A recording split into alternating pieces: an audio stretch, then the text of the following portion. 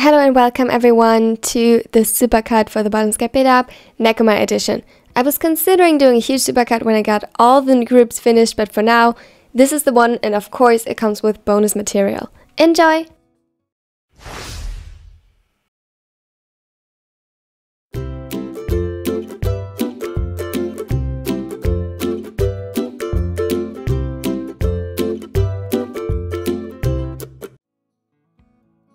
I can't believe I'm friends with the Kodzuken.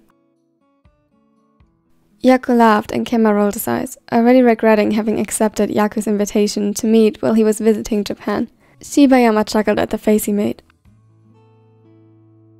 Who would have thought our Kenma would become so famous? You're literally dating a model.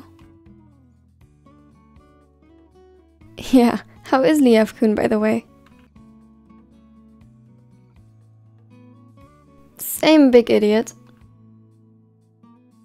He tried sounding casual, but his ears turned red, and as he looked away, a soft smile was adoring his face. In Kenma's eyes, it was honestly much more surprising that they would make it work, but he was happy for them.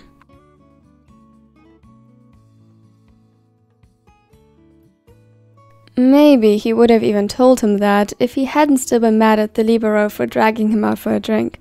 Despite hiding in the furthest corner of the small bar, it felt crowded and noisy.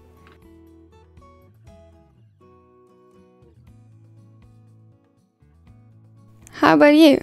Any luck in matters of romance?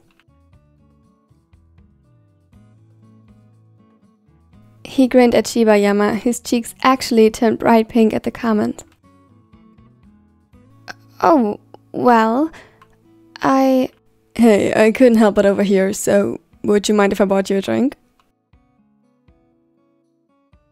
A guy approached them from the side and leaned uncomfortably close to Shibayama, who visibly shrunk. Kenma too leaned further away in disdain at the lack of awareness for personal space. Um, actually, I was just about to tell my friends that I have a boyfriend. He let out a nervous laugh. From the corner of his eye, he could see Yaku's head perk up in interest, but his eyes remained focused on the guy, narrowed in suspicion.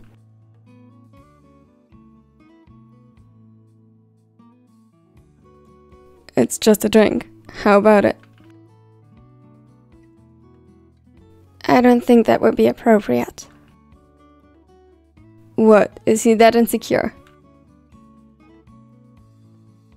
Shibayama's expression darkened and anger flashed in his eyes. No. I tried to be nice about this, but I don't want your stupid drink, and quite frankly, this is disgusting. For a moment, the man's ego seemed to have taken a hit, but then that awful smirk returned. Feisty. How appealing. Come on, sweetie. He doesn't. Hey, asshole. He said no. Now back the F off.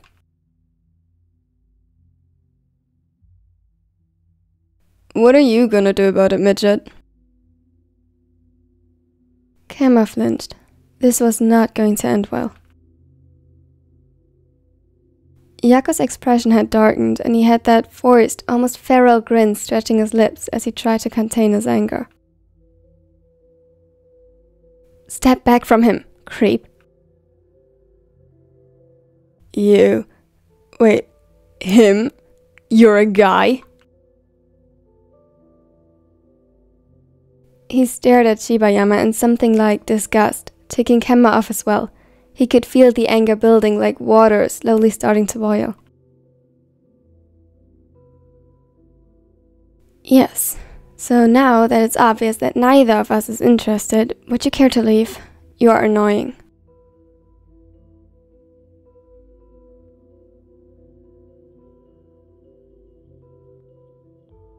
You think you can make a fool out of me? That would require you not to do that yourself. His voice was quiet compared to the rest, but the guy still heard him and snapped. Kenma's eyes widened as he saw the fist swinging toward him, and for a moment he was frozen in shock, but Yaku stepped between them, deflected the punch, and shoved the guy backward.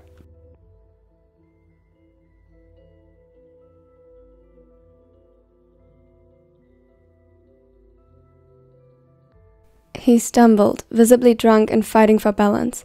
When he managed to steady himself, a growl like incoherent sound came from him, drawing the attention from those around, from which, sadly, some seemed to be his friends. Hey, how dare you attack my body like that? Well, your buddy started it. Yaku had placed himself between them and the other two, staring the idiots down with his best death glare while motioning for Kenma and Shibayama to leave the bar. They hadn't even made it two steps before the fight broke out anew. Kenma lost track of what was happening rather quickly. While he still tried to make sense of it and search for an opportunity to escape with his friends, he was suddenly grabbed by the shirt and lifted slightly from the ground.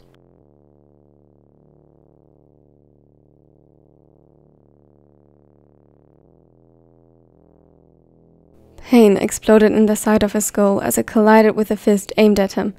Instinctively, he brought his hands up, and in a moment of clarity, he managed to angle his elbows above the arms holding him and bringing them down in a rapid motion, freeing himself.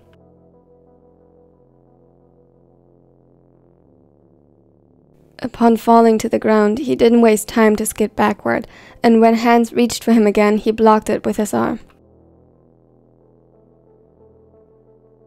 The guy gripped his wrist hard to the point of pain, but this time Kenma could move more freely. When the guy pulled, it actually helped him to regain his footing and dodge the next attack by leaning backward, which simultaneously threw the other off balance.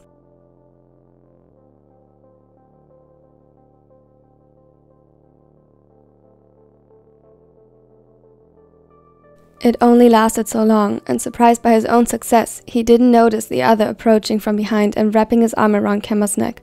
His eyes widened in panic as he was held up, while the one who attacked him first aimed for his stomach.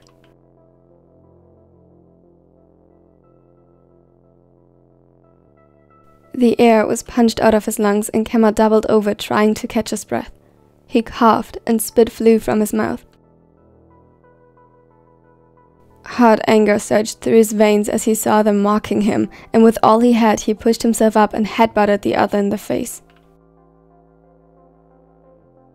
A scream echoed from behind, and he let go of him. Kenma expected the guy who attacked him first to come at him again, but when he looked up, he saw that Yaku had taken care of that.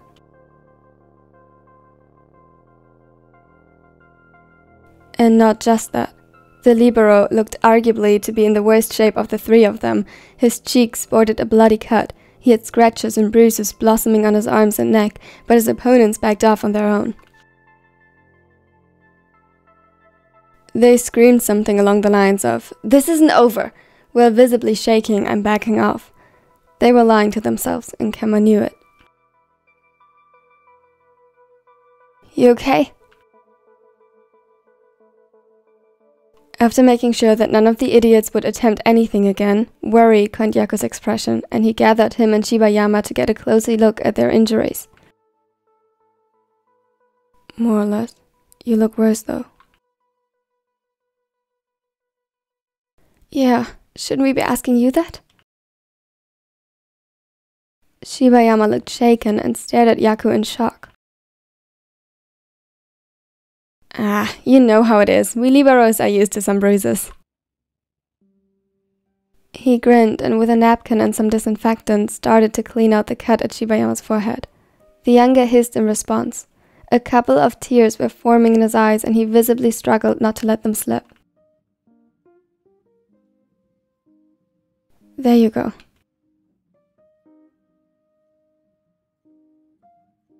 He turned to Kenma next, who luckily had no open wounds to show, but he was certain that the hit to his face and the grip on his arm would bruise.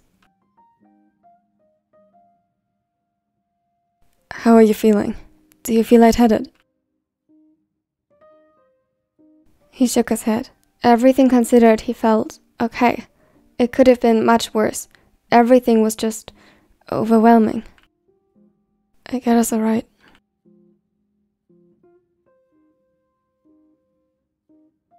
Yaku nodded slowly and put an arm around Shibayama as they walked out of the bar. Kenma couldn't help but notice that there was a slight limp in the libero's step.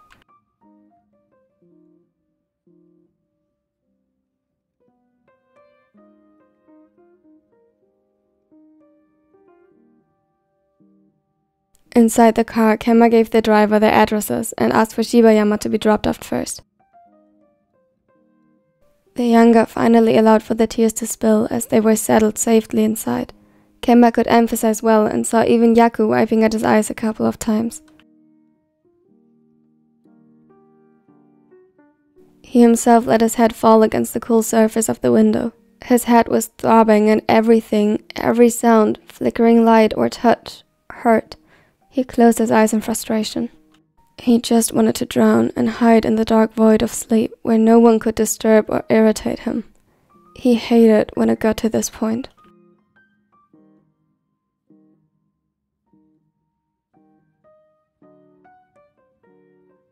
He felt so wrong and uncomfortable in his own skin and just wished he could rid himself of the ability to feel.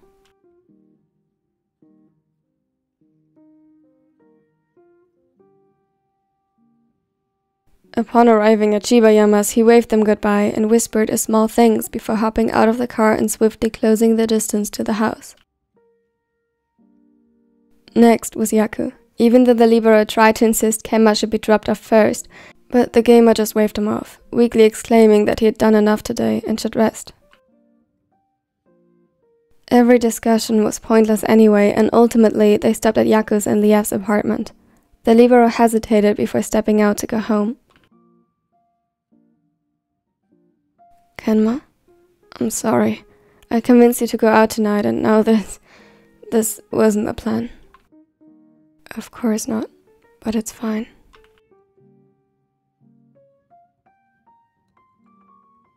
He took a deep breath and opened his eyes ever so slightly to meet his former senpai's gaze. It was nice seeing you again, Yaku. The other smiled. Yeah, you too, Kenma. He closed the door as quietly as possible, leaving Kenma alone to his thoughts.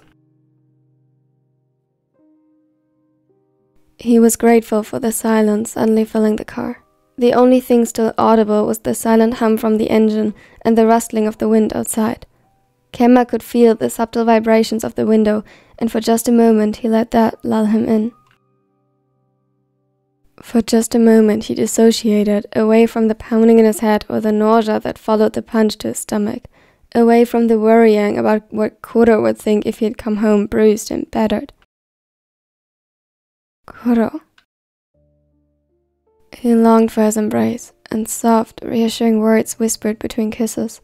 It was the only kind of touch he'd welcome even in this state.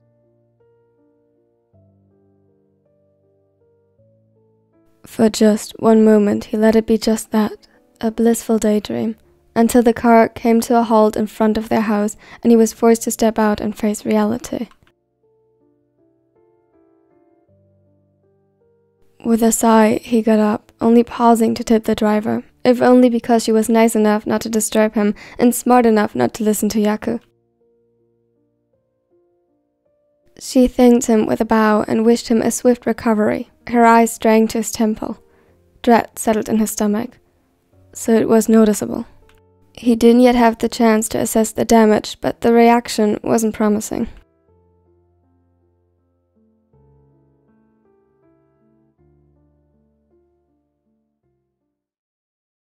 After the car was out of sight, Shibayama slowly let his head sink down to his side.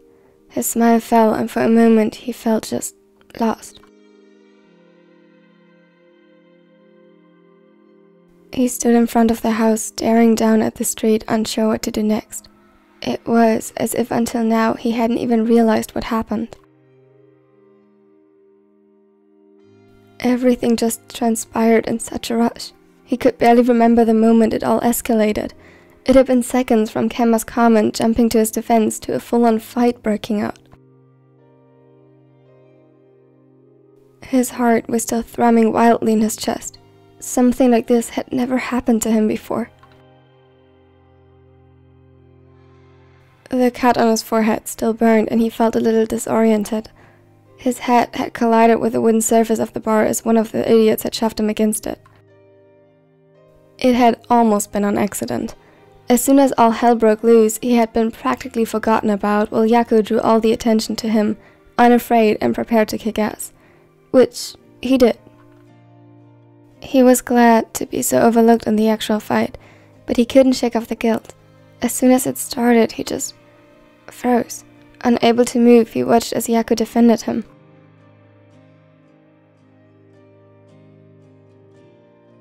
He hadn't even managed to dodge the hit that was aimed at him. It was pathetic. Tears began to prick in his eyes again, and he sniffled.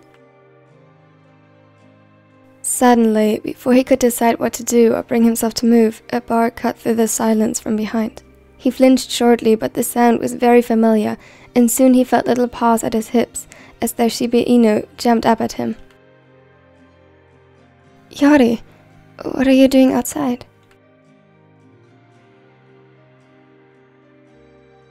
Automatically, he turned around and knelt down to welcome his dog. The pup was barely two years old and still very excitable. Before he could prevent it, he jumped again, causing Shibayama to land on his bed, while the dog licked the salty tears from his cheeks.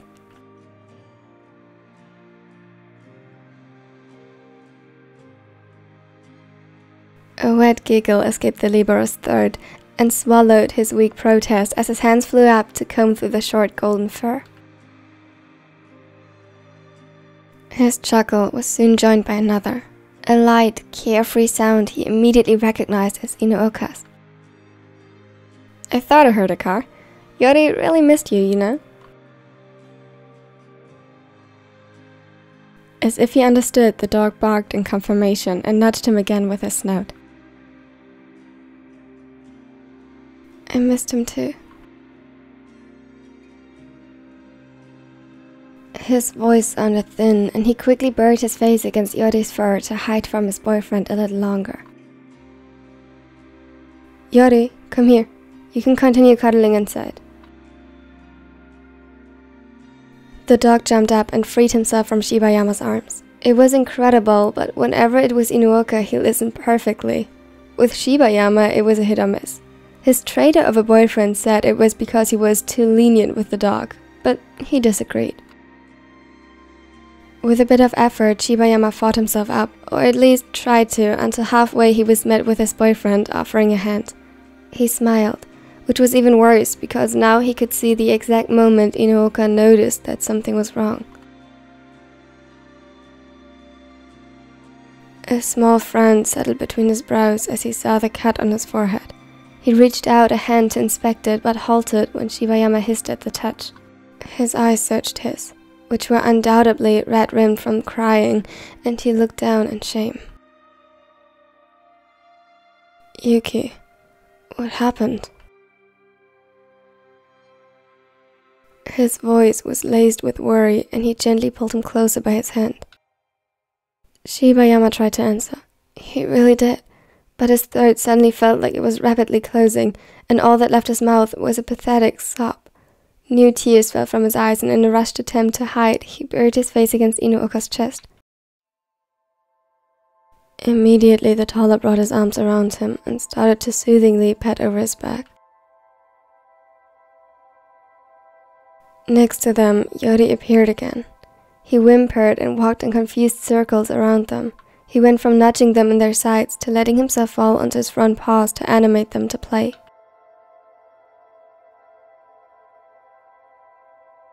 Inuoka observed him from the corner of his eye, and a soft smile tugged his lips upward.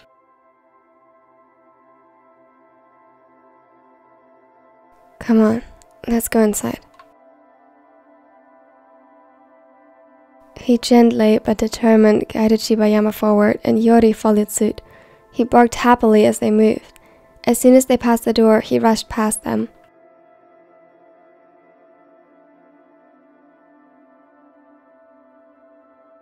Shibayama could hear the soft clacking of his claws against the wooden floor, and before he had even managed to take off his shoes, the dog was back again with a toy in its maw. It was a little lamb plushie and made Yori look forbiddenly cute. I'll make us some tea. Do you want chamomile or green tea? Surprised, he looked up. Inuoka's eyes were gentle and he smiled at him warmly though Shibayama could see how his gaze strayed to the cut time and time again. Chamomile. Okay, give me a minute. Before he could so much as nod in response, Inuoka had disappeared inside. He gulped, still fighting for the little composure he had left. He barely felt his legs as he stepped inside, mechanically following his boyfriend. His boyfriend, who he didn't even manage to tell his friends about. A bitter taste assembled in his mouth at the thought. He had been really excited to tell them, actually. Inuoka and him were official for a year in less than two months, though it wasn't widely known. The team knew, but it hadn't been publicly announced. They didn't want their relationship to become a matter of the public, even when the interest in a Division II libero probably wasn't that great to begin with. This was the first time seeing his old teammates in person again, and he wanted to tell them, but he got nervous and tongue tied. Yaku's question was a heaven sent, but then those idiots showed up, and now it remained a secret. He sighed and urged himself to move, surprised when he found the kitchen empty. He didn't have the energy to wonder anymore where So had run off to, and just let himself fall onto one of the chairs. Him not being able to tell them about the relationship was arguably the least bad thing about today's evening, but to Shibayama it was just the cherry on top of his shortcomings for today.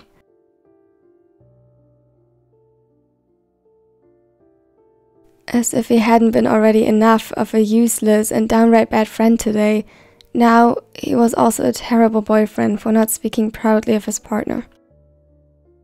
Heck, he couldn't even take his worry upon arriving. So must have thought the worst when he just started crying into his shirt so suddenly, wounded. More tears slipped from his cheeks, and at this point he didn't even try to prevent it any longer, when suddenly a bag landed on the table in front of him. Took me a while to find it, but here we go. We really should have more of these, with you being an athlete and all. He grinned jokingly, but Shibayama could see the worry in his eyes as he tried to make this easier for him. So. His eyes strayed down to the object, only now recognizing the medic kit. Okay, let me take a look at that first, then I'll make us tea, and you can take all the time you need to explain what happened. His heart swelled at the swift care his boyfriend provided. His voice was gone, and all he could do was nod and let him take the lead. He inspected the cut carefully and fished a band aid from the kit along with some disinfectant. Yaku-san cleaned the cut already. Yaku was with you when this happened? He nodded, and Inuoka let out an audible sigh of relief. He still cleaned the wound once more, apologizing when Shibayama flinched from the stinging before he gently and thoroughly applied the bandage. There you go. Anything else? He shook his head, though he regretted it immediately as a sharp pain followed the movement. It must have shown on his face because Inuoka looked at him, his eyes full of concern. Just some bruises. We liberos are used to those. He repeated Yaku's words darkly and gulped. Any that are worse than the others? He thought about it for a moment and thought the events of the evening over once more. He still didn't quite feel like he had regained his full control and feeling over his body as the adrenaline was still wearing off. I hit my head, but I don't think it's that bad. The taller nodded slowly and moved to inspect the place Shibayama showed him. Do you feel dizzy or nauseous?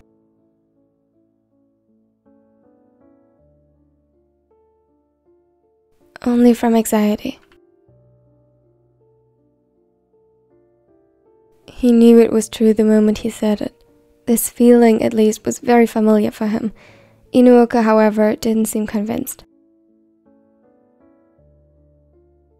He sighed and put the first aid kit aside while moving to the kitchen counter. He took two caps from the cupboard, and Shibayama's heart fluttered as he recognized the cute Shiba Inu cap Inuoka had given him for his birthday. Just tell me if it gets worse, yes? He nodded, observing him as the Tala prepared their tea. While the water started boiling in the kettle, he met his gaze and a soft smile adored his lips.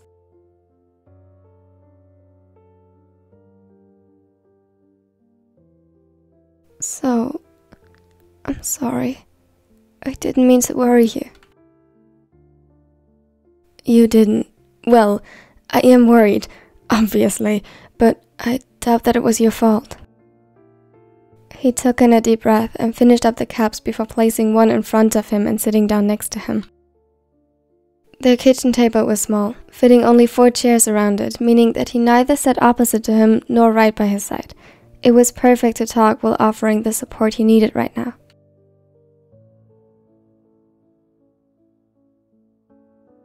So, what happened?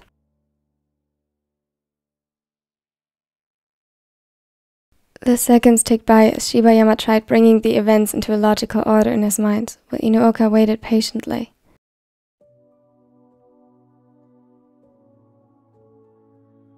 I could probably also call and ask Yaku if you don't want to talk about it yet.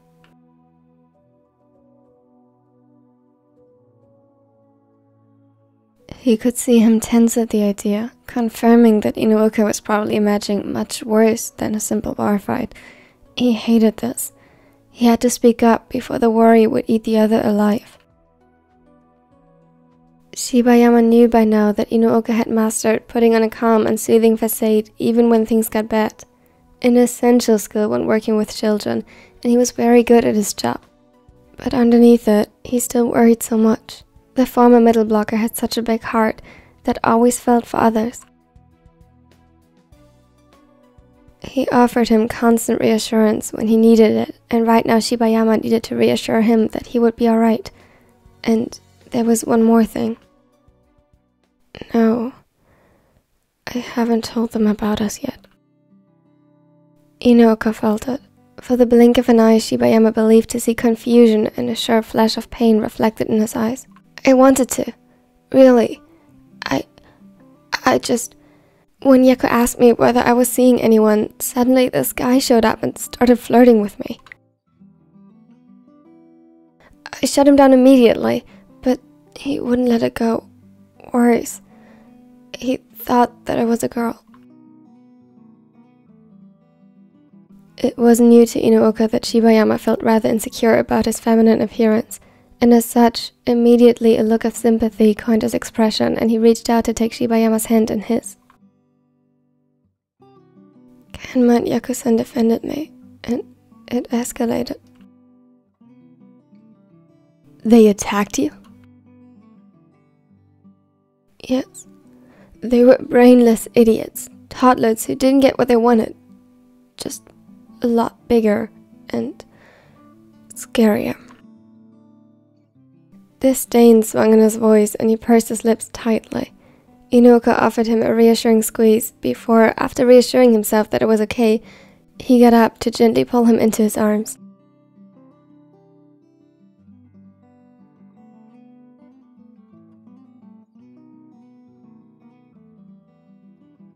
See, I was right. This wasn't your fault then. He soothingly wrapped over his arms as Shibayama let himself be soothed by his boyfriend. I guess. Not you guys. You said it perfectly. They were idiots. I'm just frustrated because I couldn't do anything. I just froze.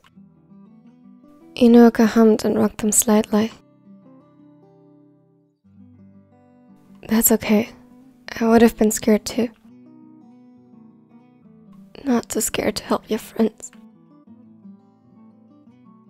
I don't know. That's what I like to think, but I have never been in a similar situation. Shibayama was sure Inuoka would have done something, but he didn't say that. Besides, even if I'm not you, people react differently, and that's okay. But If you want to change that, you could take courses on self defense and stuff. And stuff? A small chuckle escaped Shibayama's lips, making his boyfriend smile. What? Nothing. Just. Those kids are lucky to have you. You must be awesome at your job. Yuki. He whined playfully and hugged him tighter while plastering kisses on his face and neck until it tickled. He laughed, but after a moment, a new wave of pain passed through his head, and before he could prevent it, Inuoka had already noticed and stopped.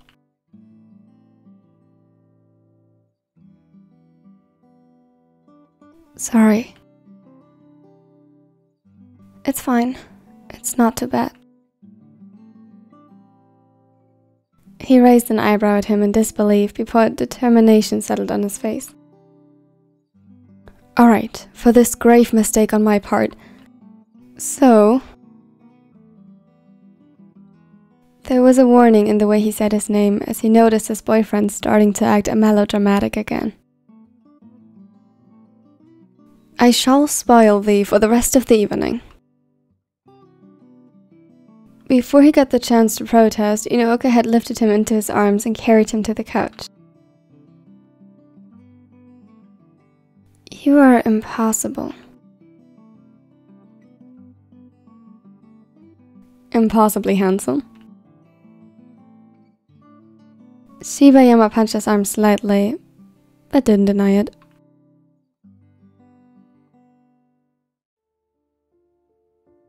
Yaku pushed the door open to their apartment complex with a groan. His shoulder hurt, his arm hurt, his cheek and ankle, and overall, everything hurt.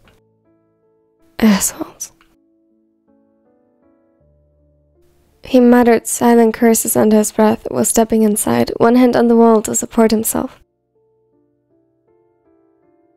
The events of the evening left a bitter taste in his mouth, not simply explained by the lingering taste of alcohol.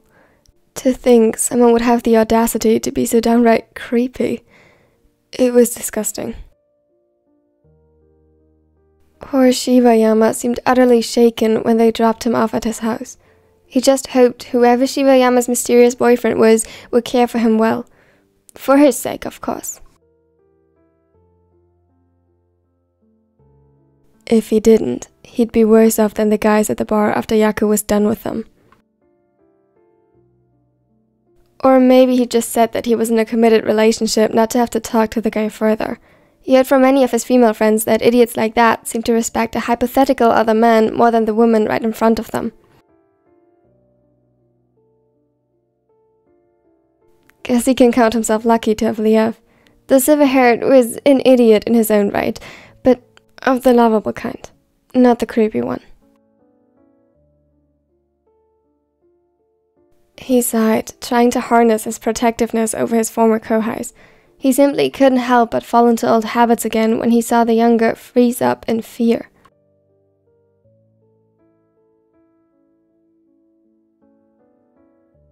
It didn't help that it were Kenma and Shibayama out of all of the former Nekoma players.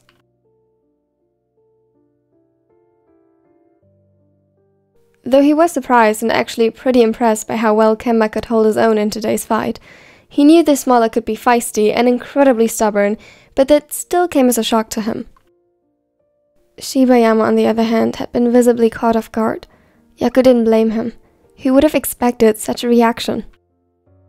The younger had grown up to be a truly great man. Yaku had been to a couple of his games, and he was nothing but proud of the younger libero.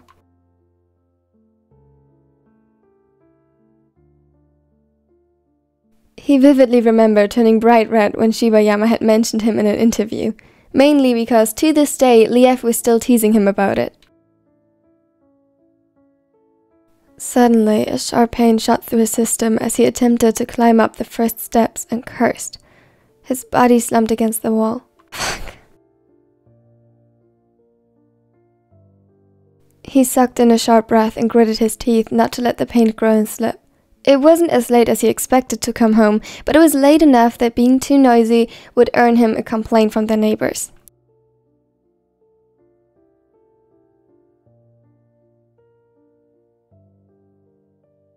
With a sigh, he steeled himself and proceeded. Surely it couldn't be that bad. He only misstepped while avoiding the fist swung at him, though this was certainly preferable from the black eye he'd have gotten himself otherwise.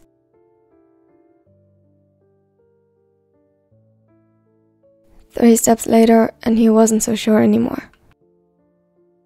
He lay hunched over on the steps, supported by his outstretched arms leaning on the stairs above. He was sweating as waves of pain radiated from his ankle and washed through him. Spit assembled in his mouth like acid as he was forced to keep quiet. Yaku forced deep breaths into his lungs, while fighting for composure. One would assume that at the very least the pain in his leg would overshadow and drown out the rest, but instead it seemed to amplify it. In the minutes Yaku had to remain still and catch his breath, he was painfully aware of every single cut and bruise he had earned tonight. So, walking it off wasn't an option, huh?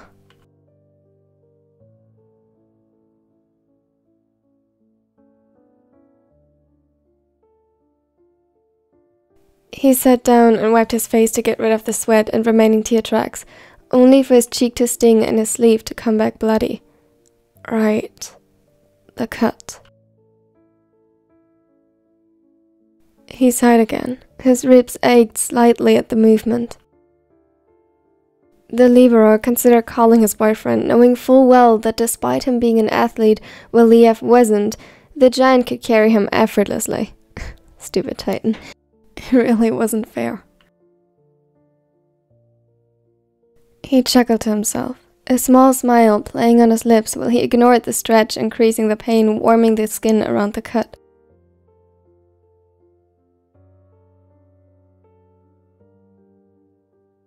Ultimately, he decided against calling his human embodiment of a golden retriever. The silverhead would make enough of a fuss when he saw him already. No reason to give him a heart attack by letting his imagination run wild.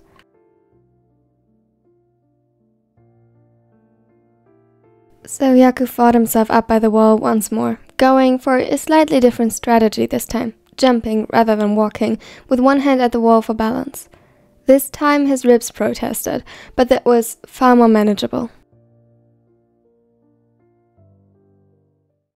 Lev, can you help me out? He had managed to open the door and get inside the apartment, but at this point his energy was depleted and his nerves lay blank. He was angry and stressed out. His foot hurt and he had to grit his teeth not to let show how much. Hmm? Mm, sure.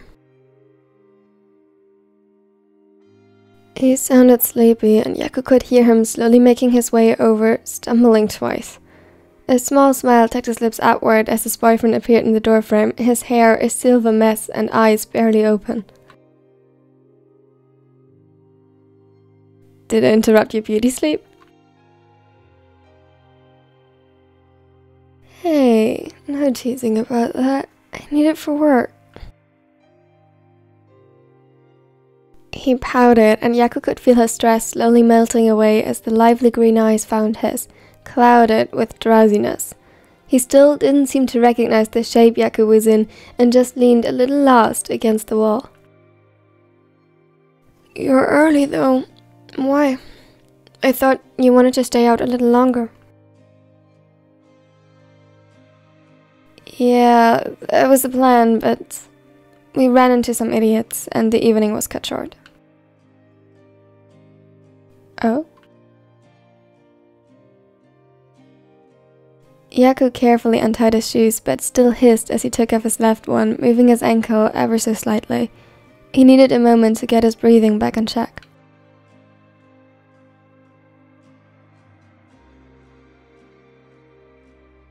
Either way, I'm glad you're home. Lev didn't seem to have noticed, and suddenly long arms wrapped themselves around him from behind. Yaku was unprepared and didn't manage to hide the flinch when he accidentally brushed over some of the newly acquired bruises.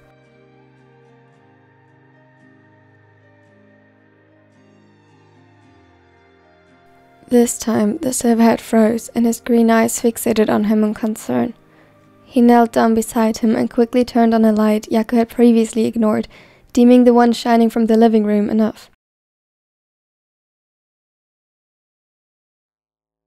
A choked gasp escaped the taller, and his eyes widened as he took in Yaku's appearance. His mouth was agape, and a variety of emotions flashed over his face. Lev, it's not that bad. I'll explain. Not that bad? Morisuke, you look like you've been beaten up. His voice was high pitched in shock, and Yaku could see his eyes first getting glossy, then turning dark.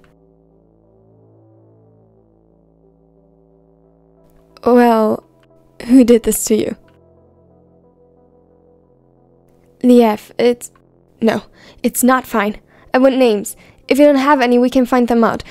They can't get away with this. I won't let them. I. Levochka. He faltered, and Yaku could see him trembling slightly. It's.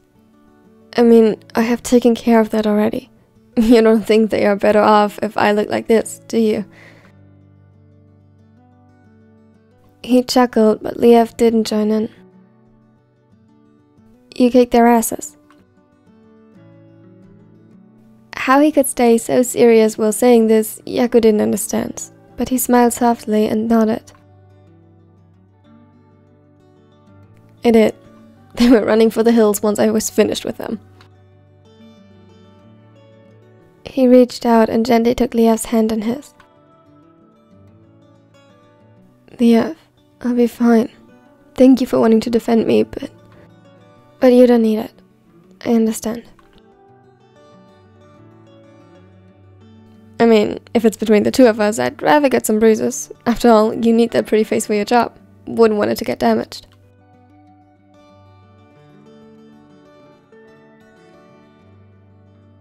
Mori. You know that I wouldn't put my job above you. I'd always. I know. Lev was so adorable when he worried Yaku didn't know how much he'd fallen for him. Those expressive, emerald green eyes were raw with emotion, and Yaku could feel himself getting giddy at the sight. He pressed his lips together not to let it show. Luckily, I already took care of the fighting part. All I need now is my boyfriend taking care of me for a bit.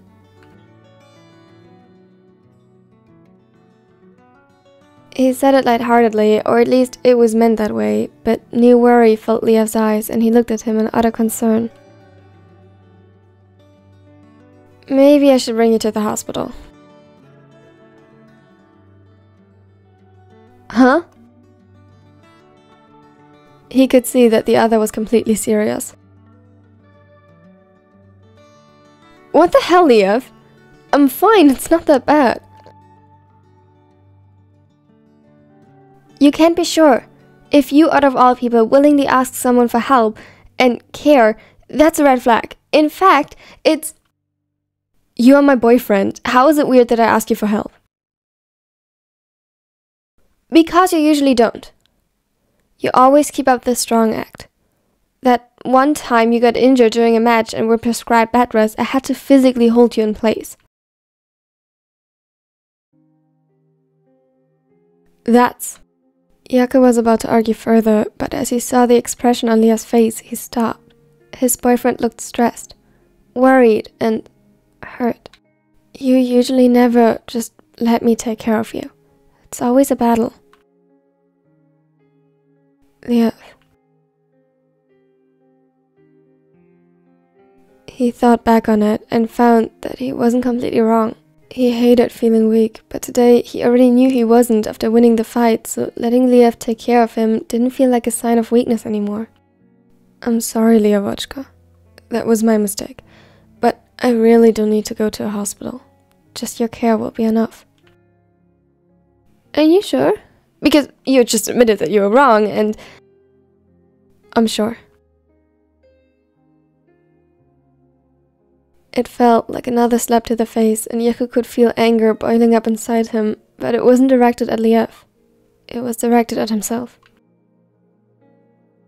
How could he ever make his own boyfriend feel so unhurt? Like his opinion didn't matter. He let his head fall and didn't dare meet the green eyes again he loved so much.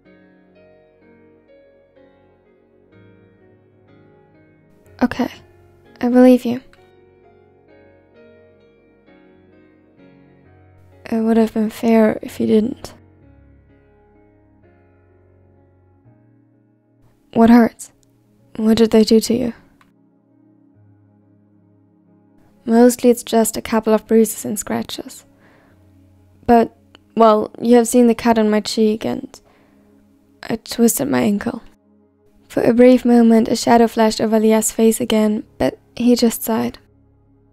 You should have called me. I could have carried you upstairs. What if you made it worse?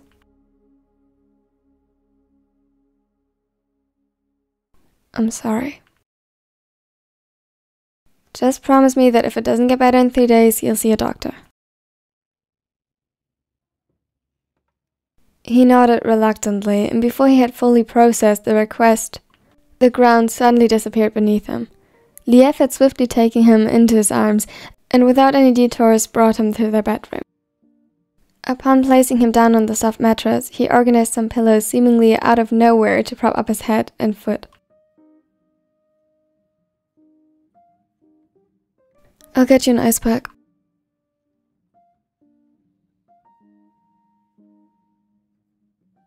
He hurried out of the room and left Yaku alone to his thoughts. He didn't even realize his behavior had hurt Lev. How stupid of him. Mori?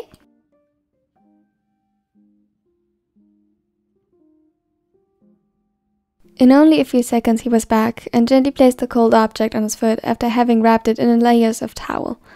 But he seemed to notice that something was wrong aside from his injury. What is wrong? Does anything else hurt? He shook his head, his throat suddenly tightening. No. I'm sorry, Lev. He cringed slightly. It's just so weird hearing you say that. I'll bring you to the doctor for real if. He joked, but Yaku didn't consider it funny. Exactly this. How can you be surprised that I'm apologizing? If. If this is how you see me, I must be an awful boyfriend. What? No! Mori.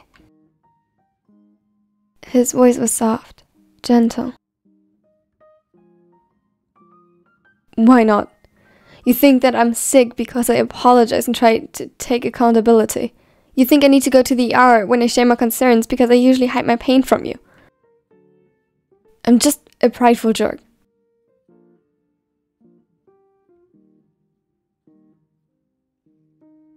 Well, I won't completely deny the last part.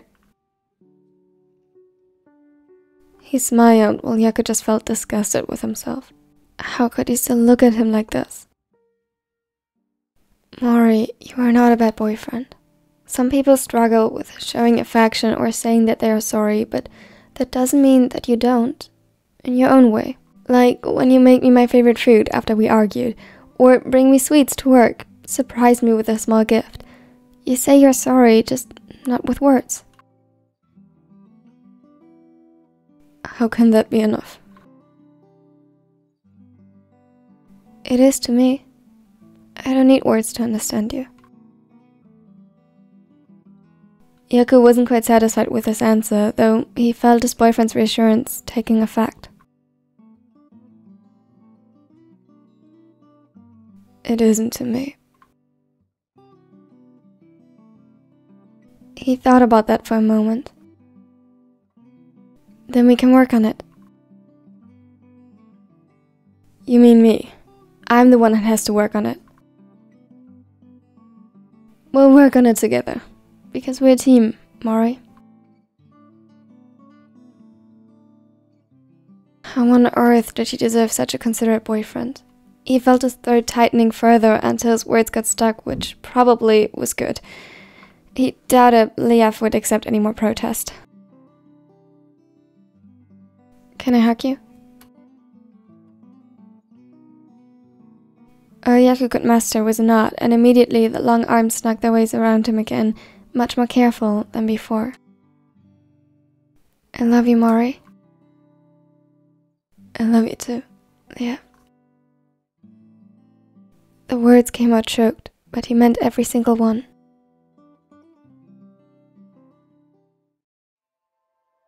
Kenma stood in front of their front door. His fingers clenched around his key and his hand hovered just above the lock, but he didn't open it just yet.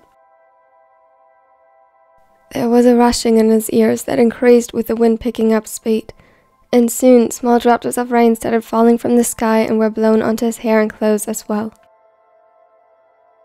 Oddly, the cold was soothing. It offered a nice contrast to the heat pulling around the bruises he acquired and something else to focus on beside the nausea. He didn't dare move as the bitter taste assembled in his mouth, followed by a stinging sensation.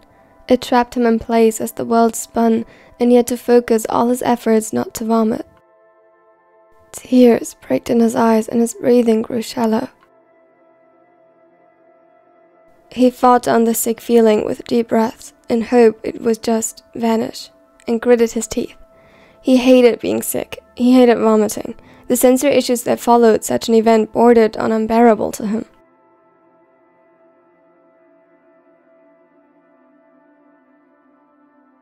His concentration was broken when through the rustling filling the air an insistent meowing cut the silence. It echoed from behind the door and Kenma would have to be deaf not to recognize the cries of his cat.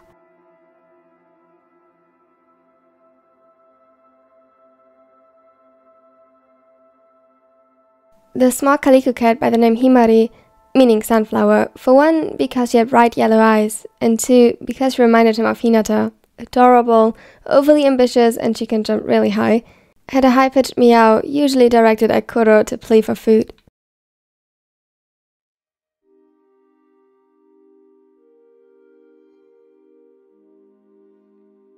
Whenever she meowed, she wanted something. And right now, she's in front of the door, calling out, probably for Kenma to come inside now for cuddles. The corners of his lips twitched in an attempt to smile, but he immediately regretted it as the nausea returned full force. He groaned and his hands started shaking. Hmm. Himari, what are you doing there? Seeing ghosts again, kitten? Upon hearing Kota's voice through the door, warmth spread in his veins, and the prickly feeling of tears assembling in his eyes became more prominent. With a deep breath, he forced down the nausea and moved. The lock clicked, and relief flooded his system as the door finally swung open.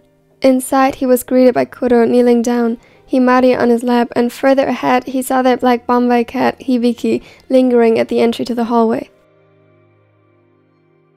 She got her name from constantly following Kenma wherever he went moments after, and meowing when Kenma would get frustrated after losing his games. His fans loved the small black kitten mirroring its owner and named her Echo. You're home early.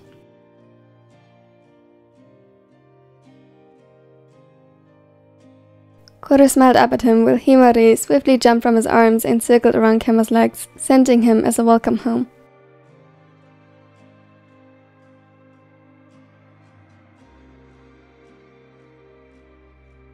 Kenma breathed in deeply.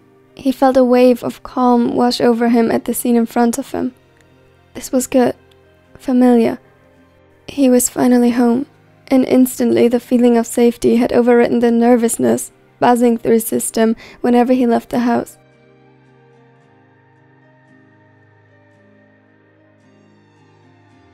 Kuro still smiled softly at him, still oblivious to the shock that still vibrated in Kenma's bones from the attack.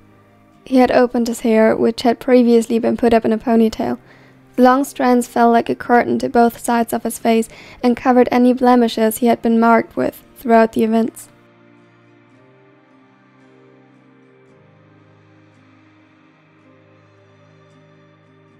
It wasn't like he wanted to hide this from Kuro, but he'd rather tell him on his own terms. After he had managed to get inside and cuddle up with his cats, including the overgrown one he called his boyfriend. Though, despite having played for Nekoma, sometimes Kuro's tendency to follow Kenma around the flat and seek out physical touch reminded him more of a dog. Then again, compared to Bokuto or Lev, who both definitely were human reincarnations of the animal, he was fairly normal. They always betray me when you get here. Kuro pouted as he observed the cat lovingly snuggle up to Kenma's leg and faint hurt. In truth, he had a whole thorough collection of pictures featuring Kenma and at least one of the little furballs, and the gamer knew that.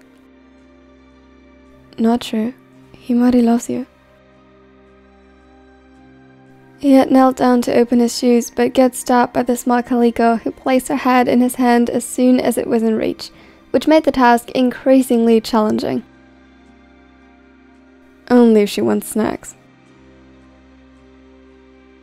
He huffed, but Kenma could hear the click of his phone, and as expected, when he looked up, Kuro was still snapping some pictures to immortalize the moment. And Kenma smiled. He'd usually feign annoyance, but this was so familiar that it provided just the comfort he craved at the moment. Slowly, Kuro lowered his phone. His own lips were adored by a smile, soft and warm like the sunset in early fall. He looked gorgeous. You okay, kitten? Kenma nodded slowly and got up to put his shoes aside. Big mistake.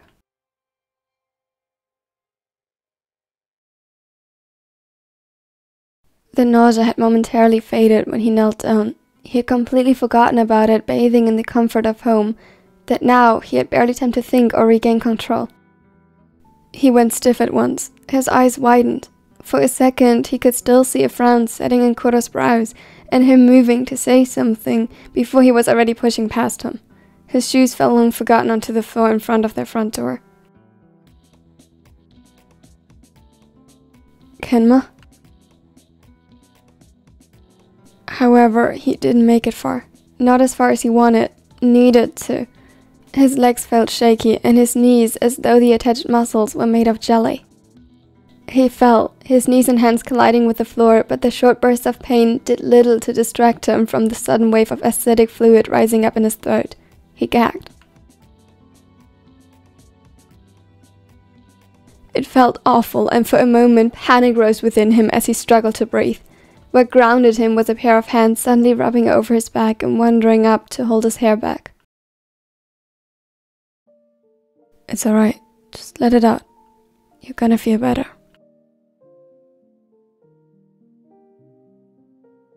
Kuro soothingly massaged his tense muscles and whispered soft reassurances until Kenma's breathing calmed. The YouTuber could feel every ounce of strength he still held onto drain from his body as he collapsed against Kuro, who mindfully pulled them back from the small puddle he left on the floor.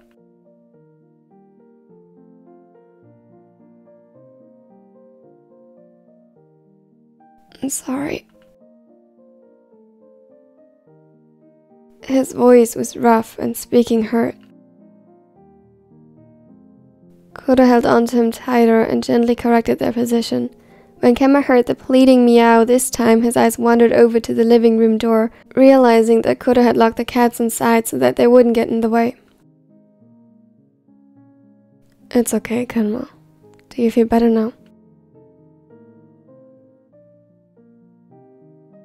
He nodded slowly. The nausea wasn't as bad anymore, but aside from that, he just felt plain awful. Everything hurt. The pulsing warmth around the bruises was sickening, and he felt uncomfortable all over. His skin was overly sensitive, his throat and mouth burned from the lingering acid, and he just wanted to cry out his frustration. Had a little bit too much? He shook his head.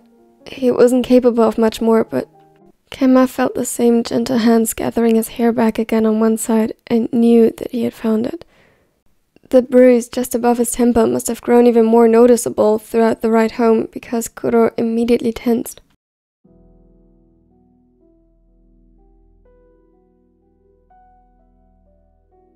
He didn't touch, just inspected it more closely and mapping out its edges with his fingertips, merely ghosting over the area.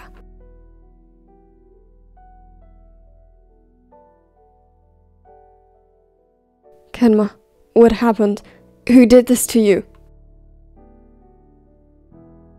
His voice was an odd mixture of concern, desperation, and slowly growing anger as he was just realizing what this meant.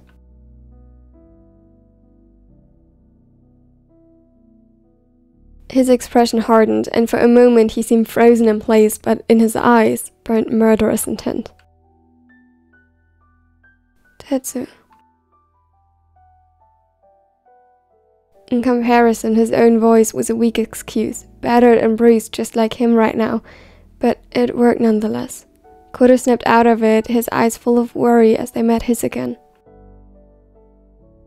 Right, you can tell me later. His eyes hectically searched over the scene, then Kenma. They stopped at the mess on the floor, his dirty clothes, and the bruise again, and it seemed as though he was formulating a plan.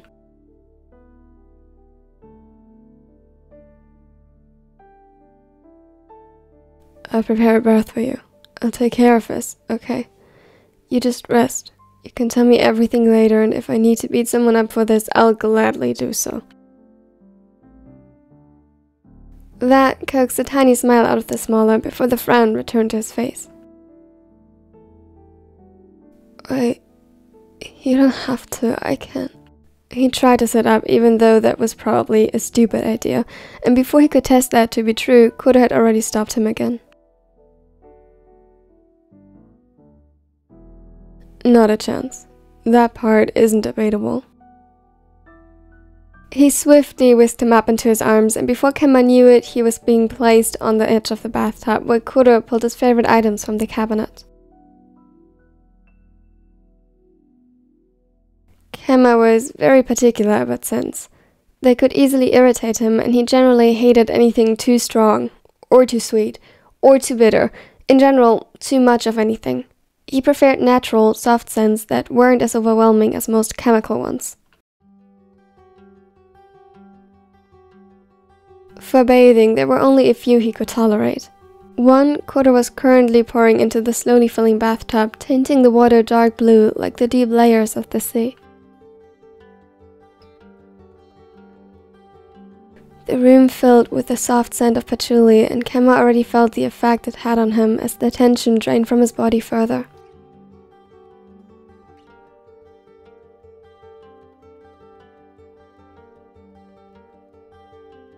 He slowly started undressing, but faltered midway as he felt Kuro's gaze on him. There was pain in the soft brown eyes Kenma loved so much, and he first didn't understand why. The taller slowly closed the distance between them and hesitantly reached out a hand. His fingertips, which had previously mapped out the injury on his scalp so carefully, now traced patterns on his neck, forearm, and stomach, leaving him confused until Kenma caught his own reflection in the mirror. His temple wasn't the only thing that was bruised. Even so shortly after the events, small purple spots started to appear where he had been choked, grabbed, and hit. He lowered his arms, his shirt halfway hanging from his right wrist. Here, give me that. Kuro gently took the dirty pieces of clothing from him and helped him remove the rest. I'll take care of this. You rest. Wash off the stress. You can relax now. You're safe. Kenma's breath caught in his throat and he nodded. I know.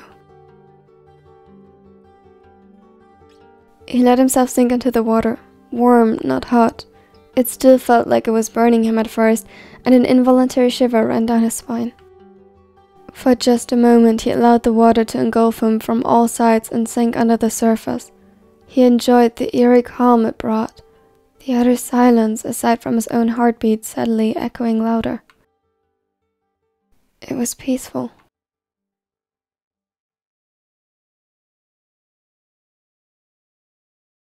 He didn't know how much time had passed when Kuro returned. The raven had changed into pajamas and held a stack of fresh clothing for him as well. They didn't say anything as Kuro sat down beside the tub and took the hand Kenma offered, simply showing he was there for him if Kenma needed him. And he did. Right now, he needed Kuro's strength. Kenma had fought well today already, now he just wanted to feel safe in the strong arms of his partner. He needed his care, his gentle words, and calming touch. He needed Kuro to be just himself as he always was, a little too worried about him, a bit of a dork, and his favorite, lovable idiot, who happened to be a bit too much into chemistry based on his awful chemistry pickup lines. He needed the stability he provided. Kuro. Come here. He already waited with a towel and just hugged him in it as he stepped out of the tub.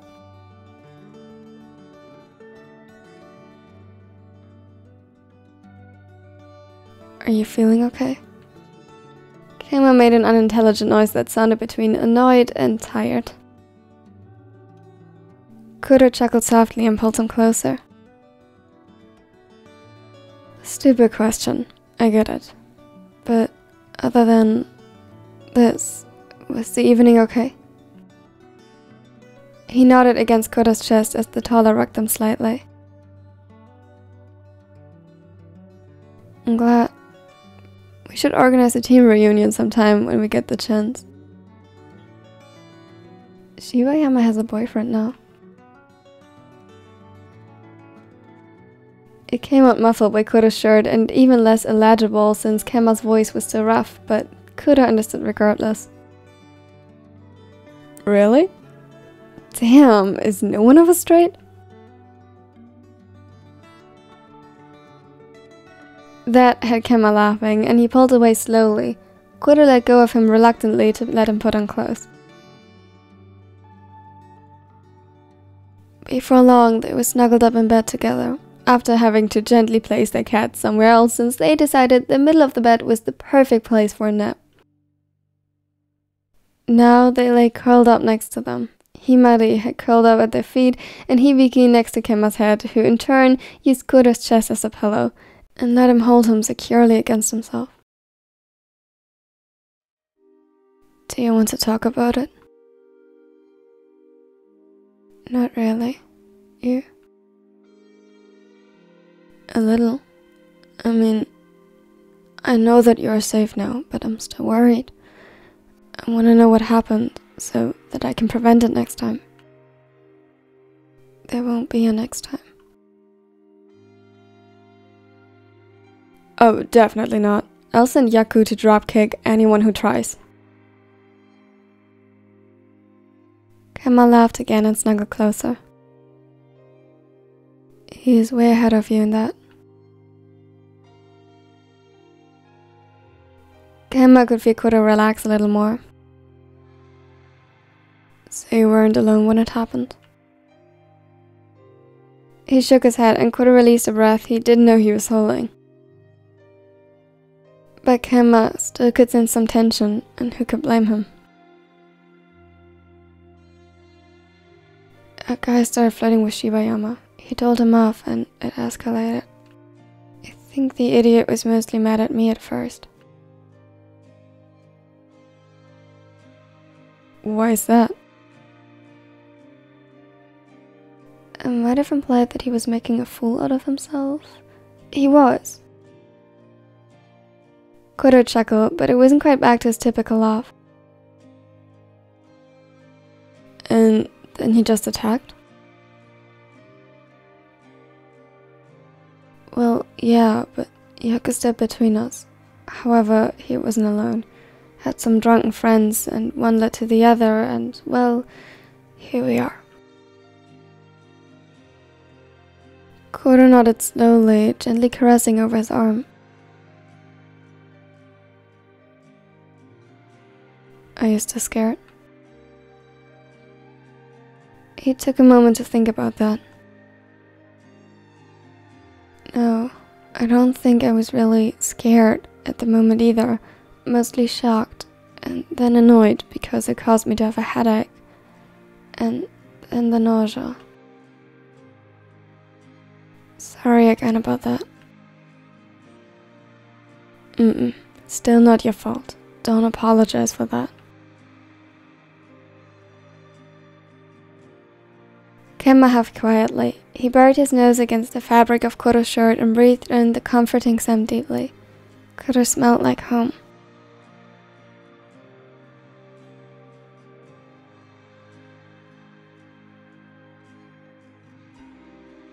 Thank you for taking care of me. Kenma, I will always take care of you. I love you. I love you too.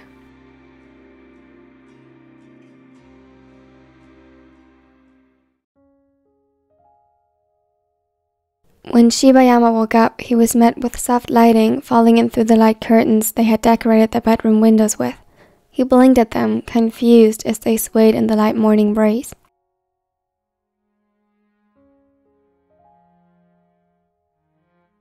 The window had been left ajar to welcome the fresh air that caused the fabric to dance.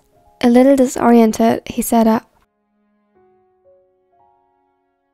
He could have sworn to have fallen asleep downstairs on the couch. What else irritated him was that Inuoka was nowhere to be found. The bed next to him was empty.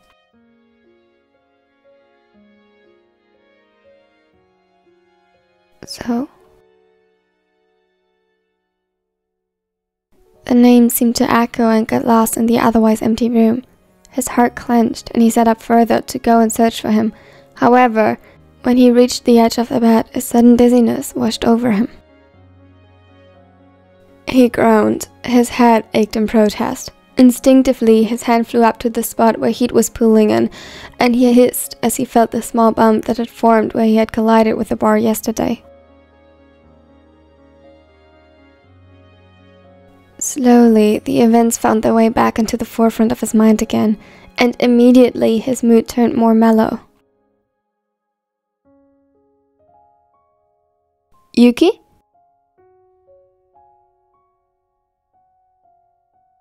Inuoka pushed the door open with a shoulder, a tray of food in hand. He smiled at him warmly, though Shibayama could see the concern reflected in the brown eyes.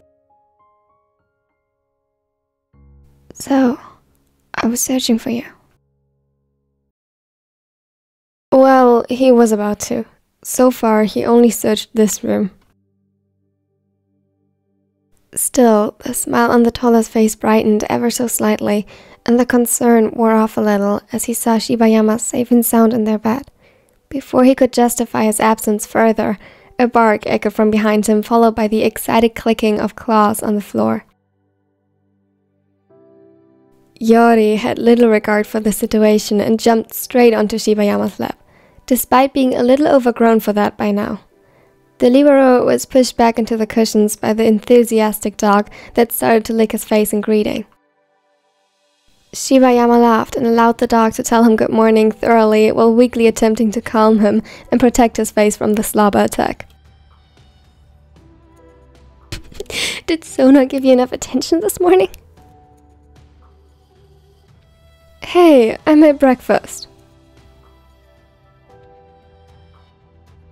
Said breakfast was now carefully put on the bedside table, drawing in the attention of their pub, but one sharp look from the older had the dog sitting well behaved at the end of their bed.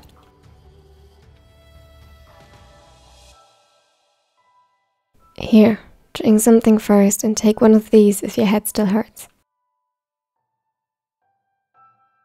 He offered him a small pill, which Shibayama gladly accepted. Thanks. He kissed him on the cheek before reaching for the glass of water and swallowing the pain medication. Just as he was about to inspect the food further, his phone interrupted the peaceful atmosphere from the other side of the bed. It's probably Yaku again. He tried reaching you a couple of times this morning. I didn't accept the call because you said you hadn't told them yet. About us, I mean. Oh. Despite trying his best to hide it, Shibayama could hear the subtle disappointment accompanying his words.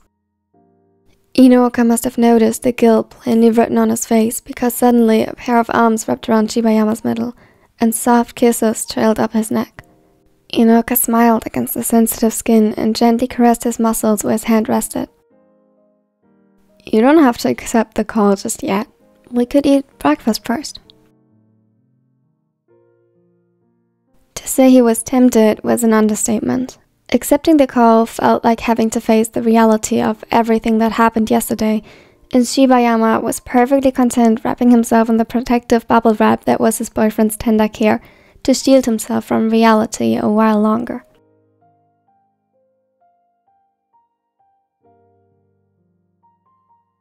But he relented with a sigh regardless. No, he's probably worried enough already. I should at least tell him that I'm alright. Fine. Inuoka sighed and reluctantly let go of him. When Shibayama turned around, he was met with a pout and he couldn't help but laugh. He leaned up swiftly to kiss it away, starting at the corners of his lips before pressing an actual kiss to them. Inuoka gladly accepted and almost didn't let him go again. When he did, Shibayama had to call Yaku back because he took too long. He threw a glare in his boyfriend's direction, who didn't look even the least bit remorseful. Shibayama-kun, finally! The younger gulped and began to nervously fumble with the edge of the blanket. I'm sorry, Yaku-san. I just broke up. Is everything alright? That's actually what I wanted to ask you. How's your head? It's fine. I'm still a bit dizzy and it hurts, but I'm doing much better than yesterday. From the corner of his eye, he could see Inuoka stiffen as he mentioned it, and the concerned gaze he threw at the bandaged wound on his forehead.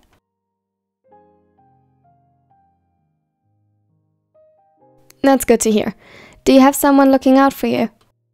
just in case, head injuries can be tricky. Um, yeah, actually.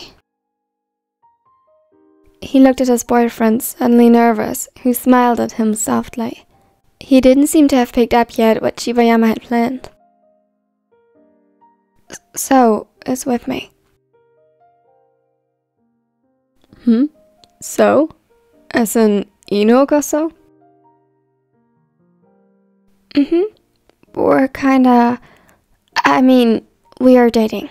We're dating. Since 10 months, 3 weeks, and 2 days. To be exact. He wanted to bang his head against the nearest wall in embarrassment and felt his face heat up. He didn't dare look at his boyfriend. His eyes were glued to the blanket as he waited for a reply.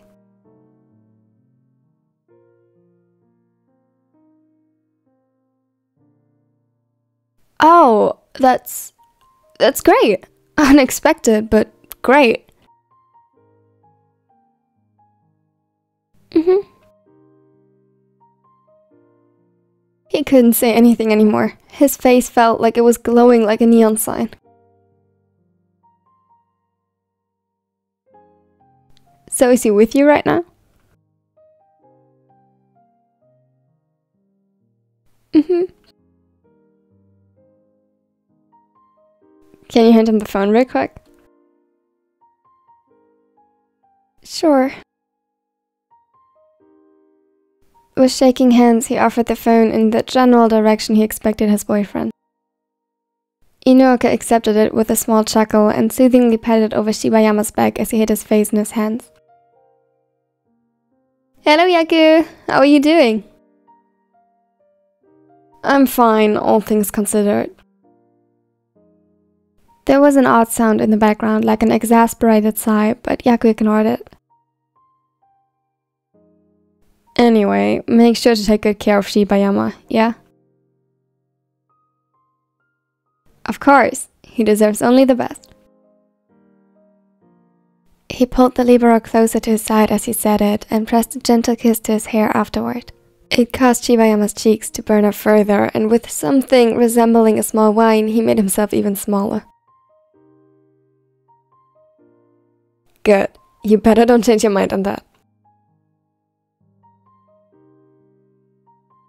Never, Yaku-san.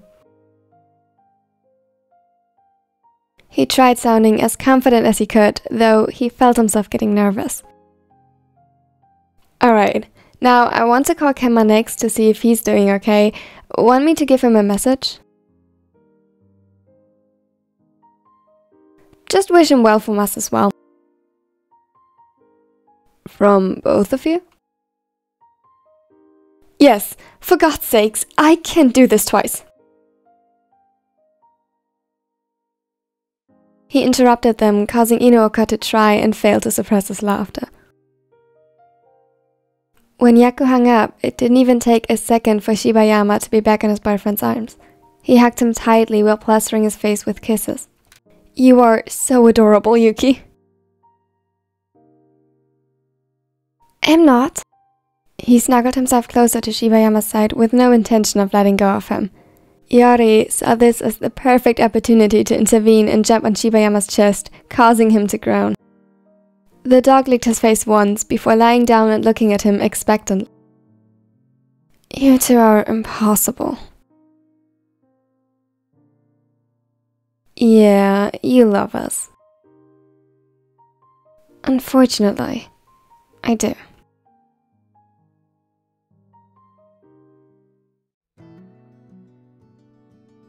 Yaku, now that's a pleasant surprise.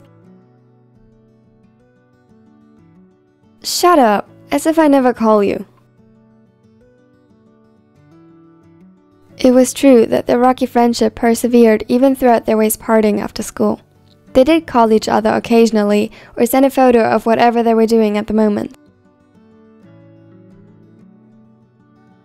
Kuro, for his part, was just now still lying in bed with Kenma, who had snuggled up against his chest, preventing him from moving anytime soon. He looked so relaxed in his sleep. The long strands of hair lay entangled around his head like a halo. Kuro's heart positively melted at the sight, and he reached out a hand to softly brush a few strands behind his ear.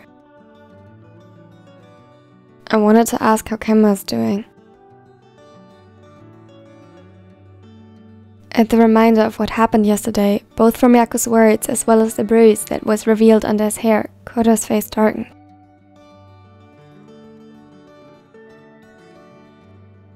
He's doing okay, everything considered. He's still asleep. It looks like it will take a while to recover from this.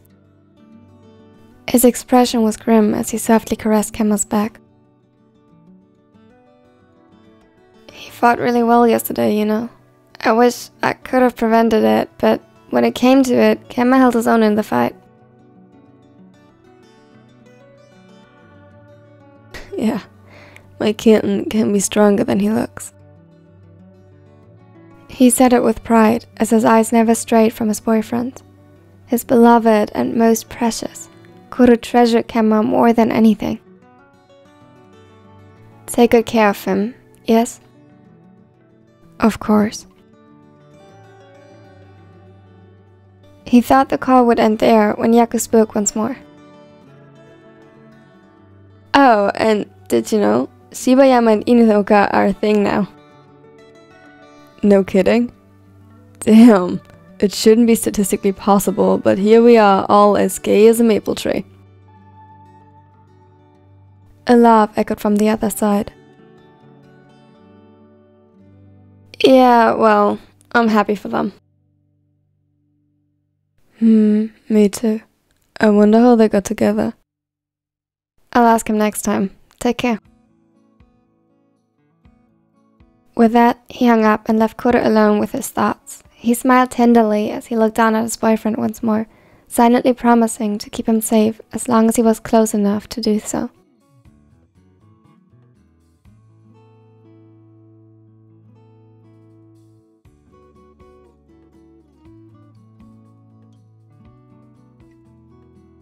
Thank you so much for watching this supercut to the end. It really means the world to me and you can't believe how well this is for the algorithm. It's awesome. Leave a like and a comment if you liked it. That is also pretty cool for the algorithm. And of course, subscribe. And most importantly, you have to tell me which one your favorite ship was. The next group I want to do is Inarizaki, by the way. So tell me who you are most excited for in Inarizaki. Special thanks to my nerdy Nekos who helped me so much And here are my other social media to check out for you. And of course, there will be more videos in the end cut. Now I hope you have a wonderful and amazing day and that you enjoyed this eh, huge supercut. There will be more. Step one, wake up early, gonna rise with the sun.